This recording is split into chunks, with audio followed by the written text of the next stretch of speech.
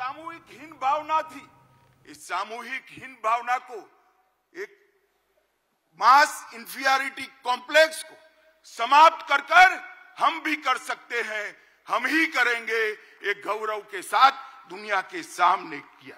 नरेंद्र मोदी जी ने पहली बार इस देश को गुलामी की, गुलामी के प्रतीकों से मुक्ति दिलाने का आह्वान किया। ये शुरुआत आज़ादी के दूसरे दिन होनी चाहिए थी। परंतु जब तक कांग्रेस रही, जब तक इंडिया अलायंस वाले रहे, इसकी कल्पना भी नहीं की मोदी जी ने गुलामी के प्रतीकों से मुक्ति के लिए 15 अगस्त को लाल किले की प्राचीर से आह्वान किया और जनता ने पलक पावड़े बिछाकर इसका स्वागत किया और आज गुलामी के प्रतीकों से हम मुक्ति पा रहे हैं। उग्रवाद और आतंकवाद, नक्सलवाद इस देश को चार दशक से परेशान करता था। मोदी जी के 14 से 24 के कार्यक्रम में, कार्यकाल में, उग्रवाद और आतंकवाद और नक्सलवाद अपनी अंतिम साँसें घिन रहा है। मैं देश की जनता को कहना चाहता हूँ, मोदी थ्री में ये देश पूर्णतया आतंकवाद, उग्रवाद और नक्सलवाद से मुक्त होकर शांत और समृद्ध भारत बनने की दिशा में आगे बढ़े। भाई और बहनों, मोदी जी के शासन ने कई विरोधाभास खत्म कर दी एक समग्रता से सोचने वाला नेतृत्व, एक नीति के आधार पर चलने वाला नेतृत्व, एक युग दृष्टा नेतृत्व किस तरह से काम करता है, इसकी मिसाल कायम की है।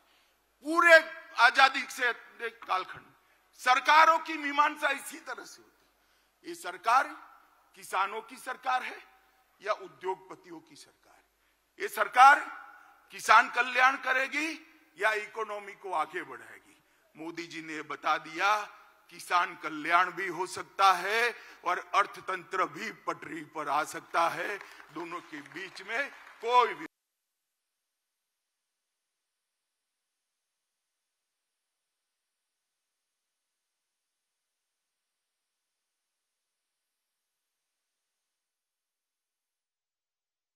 बंटवारा रहा। ये सरकार गाँव की है या शहरों की? ये भी विरोधाभास रहा। या तो आप गाँव का विकास कर सकते हो या शहर का कर सकते हो। मोदी जी ने ये भी सिद्ध कर दिया, गाँव दुनिया में सबसे अच्छे गाँव बन सकते हैं। गाँव से कोई पलायन नहीं होगा और शहर भी दुनिया में सबसे सुविधापूर्ण शहर बन सकते हैं स्मार्ट सिटी बन सकते हैं। ये सिद्ध किया। गरीब कल्याण और अर्थतंत्र का विकास।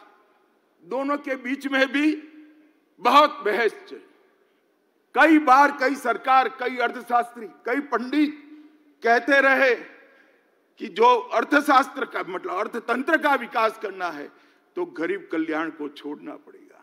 मैं आज सबके सामने कहना चाहता हूँ, हर किसान को हर साल छह हज़ार रुपया देना, हर गरीब को सभी प्राथमिक सुविधाएँ एक साथ दे देना और अर्थतंत्र को ग्यारहवें नंबर से पाँचवें नंबर पर ला देना, वो मोदी जी ही कर सकते हैं और कोई नहीं कर सकता। भाई और बहनों, आज एक संदेश लेकर जाइए यहाँ से। 130 करोड़ की 140 करोड़ की जनता के बीच में मोदी जी को तीसरी बार प्रधानमंत्री देश की जनता बनाए, हमारा अर्थतंत्र भी तीसरे नंबर पर आ जाएगा, ये संदेश लेकर हमने जाना है। इसी तरह से, इसी तरह से एक द्वंद्व चालू रहा कि विदेश नीति, अगर दुनिया को मित्र बनाना है तो देश की सुरक्षा में थोड़ा बहुत कॉम्प्रोमाइज करना पड़ेगा। ये बहुत लंबा बहस का विषय। आज़ादी के बाद तुरंत शुरू हुआ और सारे पंडित, सुरक्षा नीति और विदेश नीति के बीच के द्वंद में फंसते रहे। मोदी जी ने तय कर लिया और कर कर दिखाया कि सरहद की सुरक्षा, देश की सुरक्षा हमारी सबसे पहली प्रायोरिटी है। और आज ये करने के बाद, देश को सुरक्षित करने के बाद मोदी जी ने भारत को विश्व मित्र के रूप में प्रस्तावित किया। वसुदेव कुटुंबम का हमारा सूत्र को उन्होंने नीचे निकाला